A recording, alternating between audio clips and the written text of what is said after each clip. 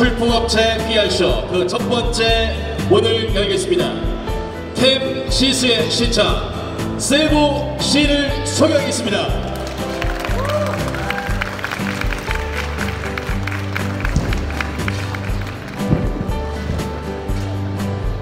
여러분들의 힘찬 박수로 함께해 주시면 고맙겠습니다.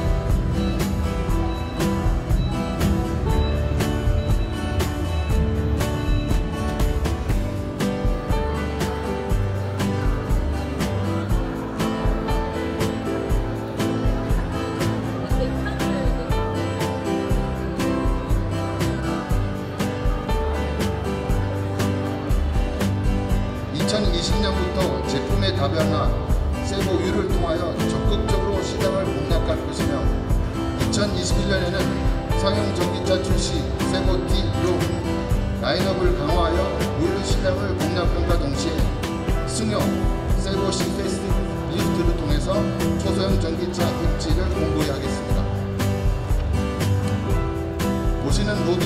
같이 product 계획에 따라 편의사양, 안전사양, 그리고 미래 기술 개발에 게으리하지 않고 자동차 메이커로서 책임을 다하는